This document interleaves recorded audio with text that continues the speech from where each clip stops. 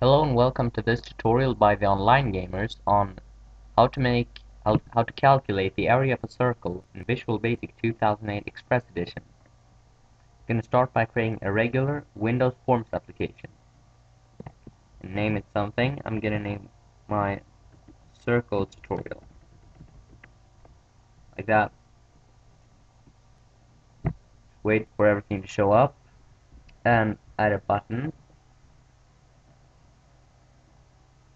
like that and rename it to calculate. Gonna add in three labels. Starting this one.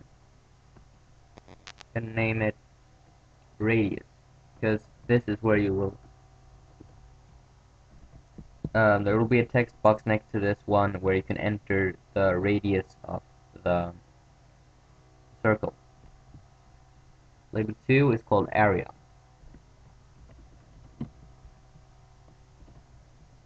Okay, and then we make another label here that just says 0 at the moment. Just gonna rename the form here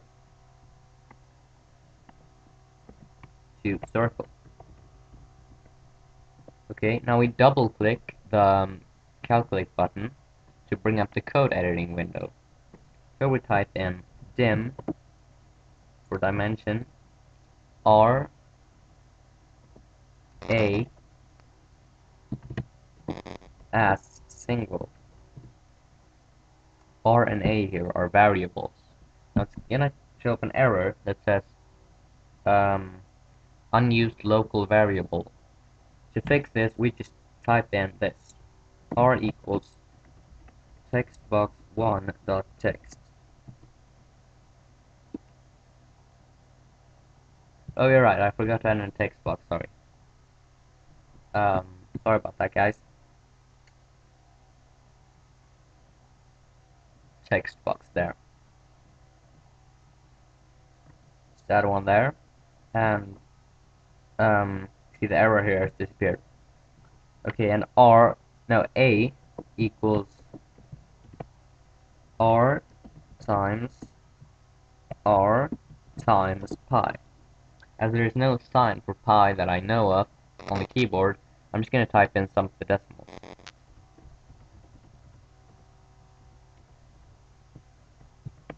Like that.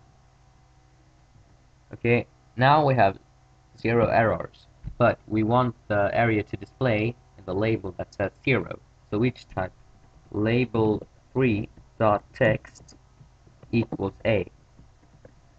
And that basically does it. Now we're done. Okay I'm gonna test this and then double check it with the regular Windows calculator. Okay so let's type in 5 here in the radius. And click calculate. Says the area is 78.539 just gonna bring up the the regular calculator here. And type in 5 times 5 times 3.141592654 get the same answer. Okay well that's all for this tutorial. Leave comments or personal messages what videos you want me to do next anything goes really. Thank you for watching this tutorial and Please subscribe to my videos.